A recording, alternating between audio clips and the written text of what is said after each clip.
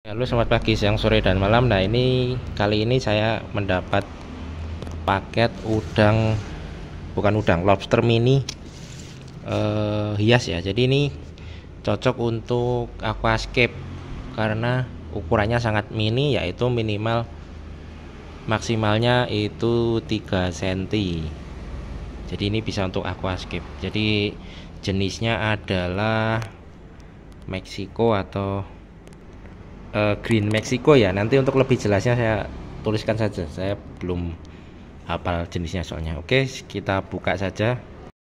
Oke ini packingnya bagus ya. Jadi tebel kardusnya kemudian didobel pakai lakban kuning itu. Jadi kalau bocor dia tidak membocori paket yang lain. Jadi ini bagus ini uh, untuk packingnya. Jadi mungkin sudah profesional si penjualnya. Nah ini sangat rapat ya. Jadi tidak sasalan padahal saya tidak pesan packing di situ. Jadi ini sangat recommended tokonya jadi bisa dipesan. Namun saya tidak ngiklan tidak sebutkan tokonya ya karena nanti dikira ngiklan. Oh ini masih hidup ya ternyata pengiriman tiga hari ya dari dari Bogor. Saya cek. Nah udang ini belum maksudnya lobster ini belum pernah saya temukan di Jogja ya. Mungkin beda apa beda tempat itu beda penghobi. Jadi mungkin di Jogja ini kurang sekali untuk lobster hias yang mini seperti ini. Mungkin atau mungkin kurang masih belum paham atau kurang tahu ya. Jadi mungkin kalau lobster itu mungkin tidak bisa untuk aquascape padahal ada juga yang bisa yang ukurannya kecil-kecil seperti ini yang tidak bisa sampai besar banget. Tapi ini apakah nanti betul-betul udang lobster Meksiko maksudnya? Atau bisa juga nanti celarki yang masih anakan kan? Kita kurang tahu. Jadi nanti kita cek saja. Kita tunggu berapa bulan apakah ini ukurannya nanti akan membesar atau tetap mengecil. Tetap seperti itu maksudnya bukan tetap mengecil Nah ini sudah saya sediakan tempatnya jadi tempatnya adalah di sini. Ini nanti khusus untuk si lobster green Mexico tersebut. Ini ada pot-pot tanaman ini untuk sembunyi. Uh, lobsternya di sini banyak sekali udang hias ya. Udang-udang yang warna transparan tuh ada di sini banyak banget.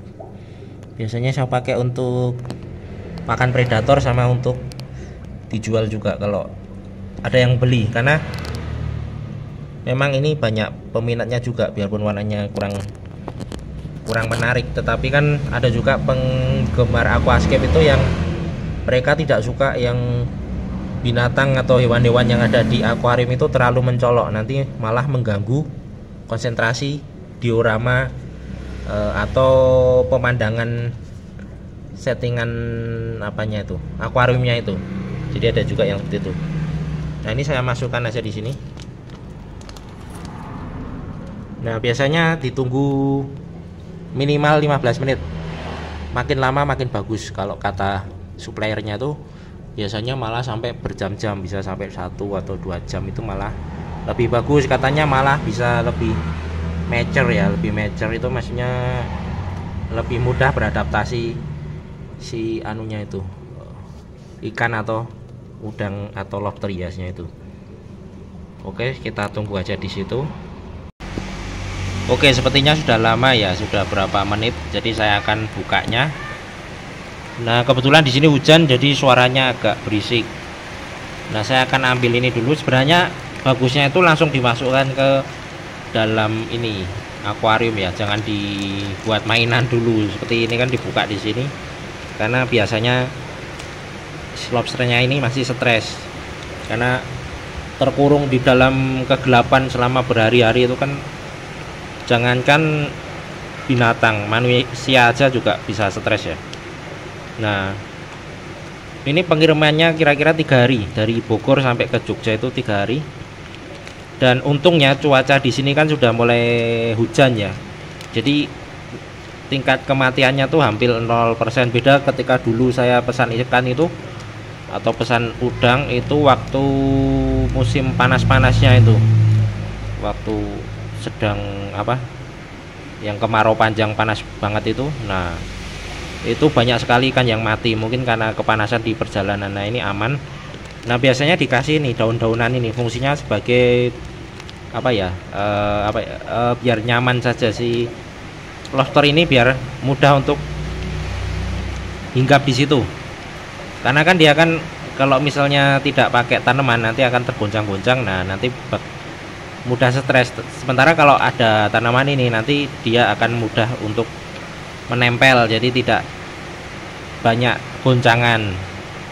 Nah itu teknik tekniknya agar si lobster ini tetap awet atau panjang umur atau malah hidup saat kita kirim atau kita packing ke tempat lain.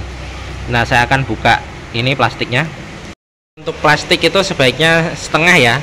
Airnya setengah terus setengah diisi udara atau paling bagus itu dua per tiga udara sepertiga air itu biasanya malah lebih bagus.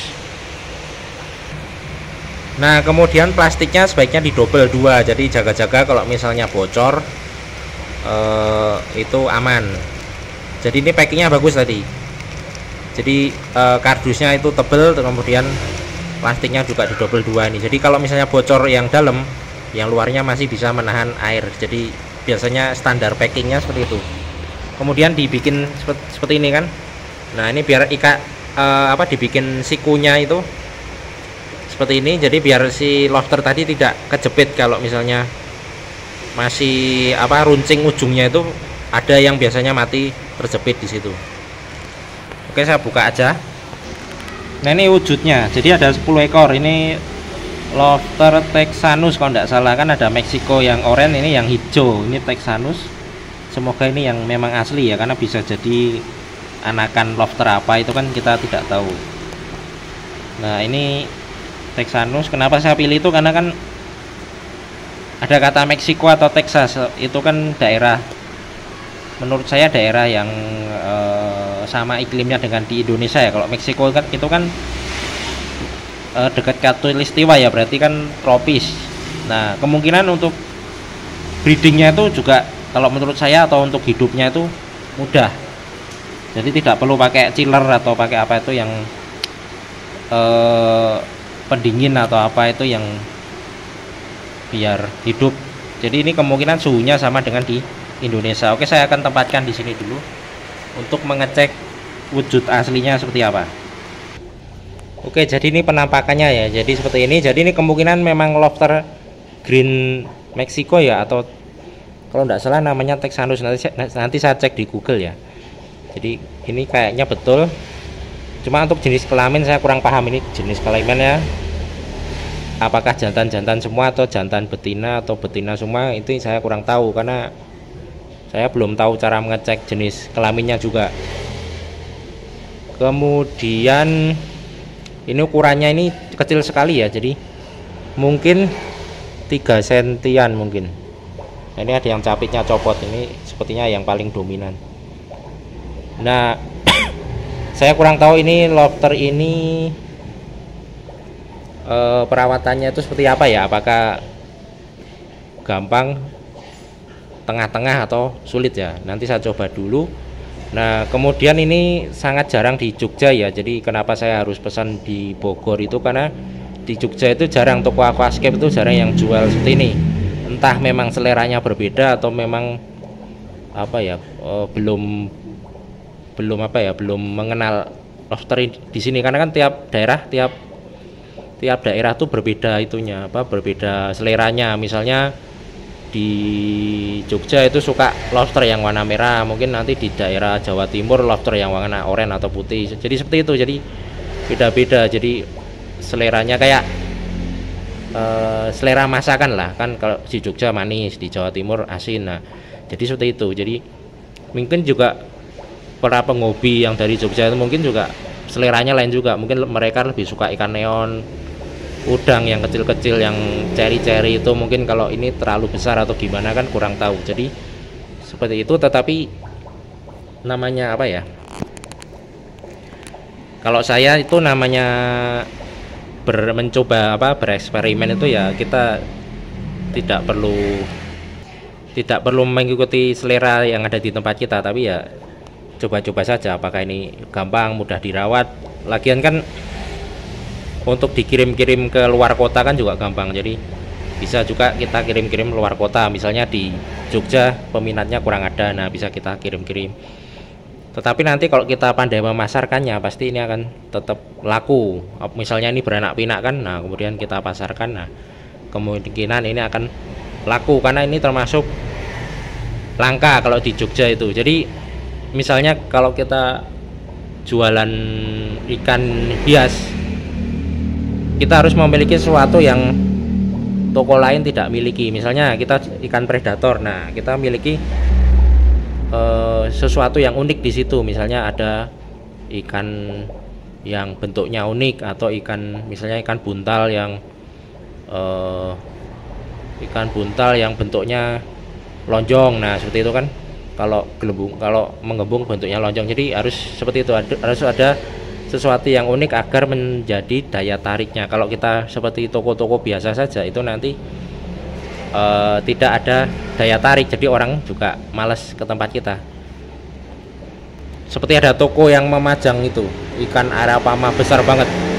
Nah itu kan pasti orang akan datang ke sana karena tertarik dengan ikan tersebut. Namun sayangnya sepertinya sekarang ini sedang di giat-giatnya di apa itu ditahan sama atau dirahasia sama BKSDA ya. Jadi memang ada larangan untuk menjual ikan-ikan yang jenis-jenis tertentu seperti aligator eh, air apama itu dilarang kalau di Jogja ini. Karena kebanyakan itu nanti sama penghobi yang yang apa ya yang tidak patut dicontoh itu mereka kalau bosan nah, membuang ikan tersebut. Jadi menjadi horor.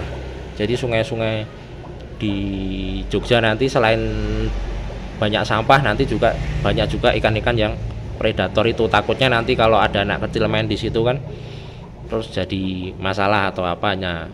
Sebenarnya itu maksudnya baik tapi ya kena dampaknya ke toko ikan hias juga yang misalnya kita sudah tertib kita rawat ikannya tidak kita lepas ke sungai. Kemudian kalau misalnya e, ikannya kita tidak bisa mampu merawatnya ya kita anu saja kita matikan saja daripada dibuang ke sungai nanti malah menjadi masalah. Jadi untuk para penghobi sebaiknya kalau memelihara predator predator itu jangan dibuang ke sungai. Kalau misalnya sudah bosan, tidak mampu merawat bisa dihibahkan. Kalau misalnya malas menjualnya bisa dihibahkan kemudian dimatikan saja, jangan dibuang karena itu nanti kena dampaknya ke pemilik toko-toko ikan hias yang lain. Kalau bisa dicek ini banyak sekali yang sudah tidak jualan lagi ikan-ikan yang seperti aligator, seperti pibas itu seperti kalau pibas orang tahu ya, tapi kayaknya mulai dilarang juga pibas. Terus kemudian apalagi ya e, arapama itu karena itu ada hukumnya juga, ada undang-undangnya, tidak boleh kita sembarangan juga. Jadi itu hati-hati. Nah untuk kembali malah topiknya beda. Nah malah kita kembali gini topik udang hias ini. Jadi seperti itu kita harus punya uh, spes apa keunikan agar nanti bisa menarik daya beli atau menjadi apa ya daya uh, ibaratnya itu pancingan untuk menarik pembeli nah seperti itu jadi oh di tempat itu ada ikan ini ini yang tidak ada di toko lain ayo kita ke sana oh misalnya ada lobster yang warnanya uh, pelangi ayo kita ke sana. Jadi seperti daya tariknya itu. Jadi tiap toko harus mempunyai keunikan sendiri-sendiri. Jangan seperti uh, toko biasa saja. Karena nanti ya itu tadi persaingan kan semakin ketat. Banyak juga yang gulung tikar kan sudah baru satu tahun gulung tikar baru satu tahun gulung tikar. Karena memang ini toko hobi toko hobi itu kan kalau misalnya ekonomi lagi surut lagi beras mahal seperti ini ya orang lebih mikirin fokus beli beras daripada beli yang ini yang tidak beli pun orang masih bisa hidup. Jadi seperti itu. Nah sampai di sini saja. Sepertinya ada tukang bakso lewat. Nah saya akan pesan dulu. Oke sampai di sini. Selamat pagi siang sore dan malam